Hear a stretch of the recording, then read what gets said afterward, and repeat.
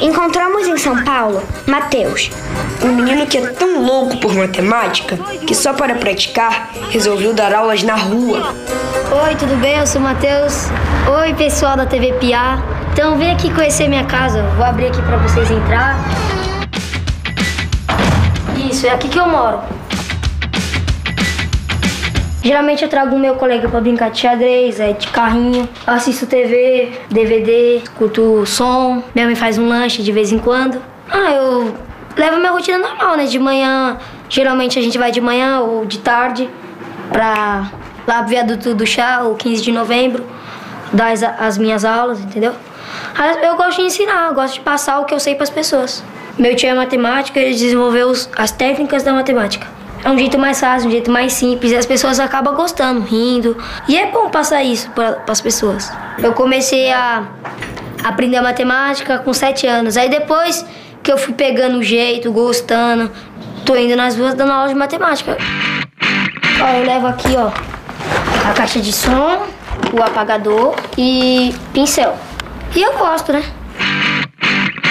Comecei a gostar da matemática. As pessoas também têm que gostar da matemática para aprender. O professor ele, ele falava assim: você precisa saber o porquê da raiz quadrada, o porquê da equação, porquê de tudo.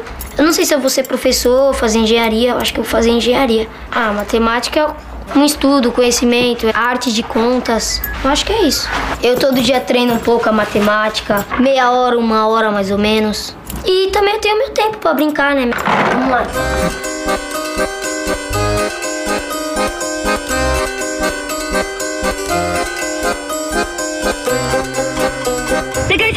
Esse 2 que eu tirei do 6, colocar aqui do lado do 5.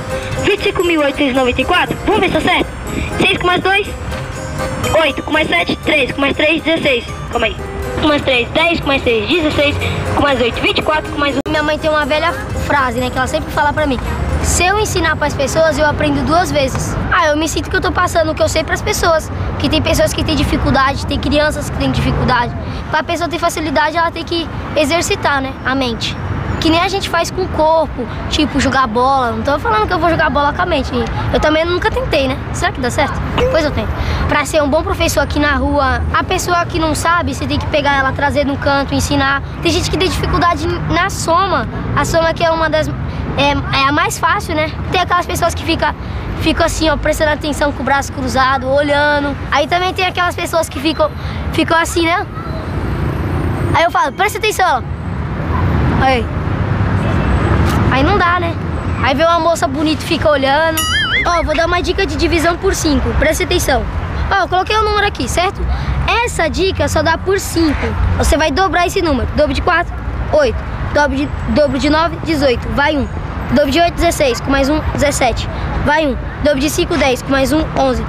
Pula uma casa da direita para esquerda e põe a vírgula. Tá respondido.